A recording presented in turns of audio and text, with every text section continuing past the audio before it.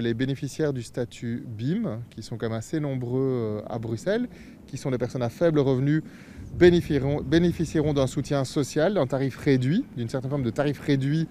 par rapport à l'eau. Ça, c'est une chose. On a travaillé aussi sur le fait que les factures soient envoyées de manière trimestrielle ou mensuelle et plus de manière annuelle, c'est-à-dire qu'on puisse payer son eau